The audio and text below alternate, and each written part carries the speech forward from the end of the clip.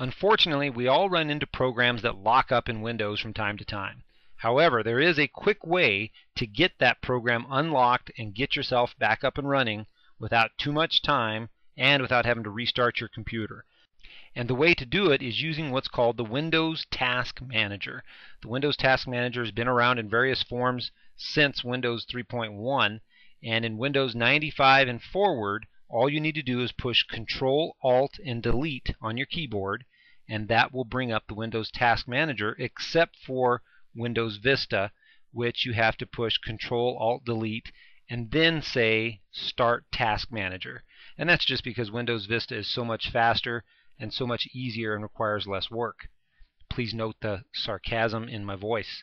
Once the Task Manager is running, you'll see these different tabs at the top of the Task Manager.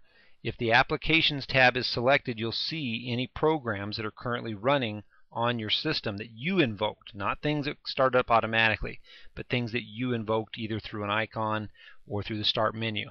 So in this case, if my Outlook Express was not responding, it would come over here to the status and say not responding. So I can simply click the application I want to close and choose End Task here at the bottom.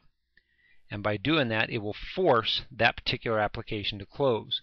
Now, not always will that come up just quick and easy as we did just now. Sometimes you'll have to highlight it and hit End Task more than one time. A second little tip that you can do is move over to the Processes tab, and if you're not having luck with the Applications tab, you want to be more careful here, but in the Processes tab you can kill a program even quicker. And the way you do this is you click on the title called image name here, the title of the column. It will sort the list alphabetically as you can see here and then I can select one of the programs that I want to force to quit.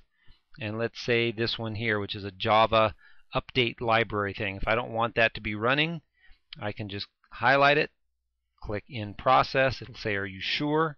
And I'll say yes in the process and it'll kill that process. Now again you only want to use this technique with programs that are having problems or programs that you want to forcefully quit because you've lost track of an icon or somehow have not been able to shut it down in the normal fashion. So use Control Alt Delete and the Task Manager to troubleshoot those programs that tend to lock up from time to time in Windows and you will find that you can get back to work much quicker and easier.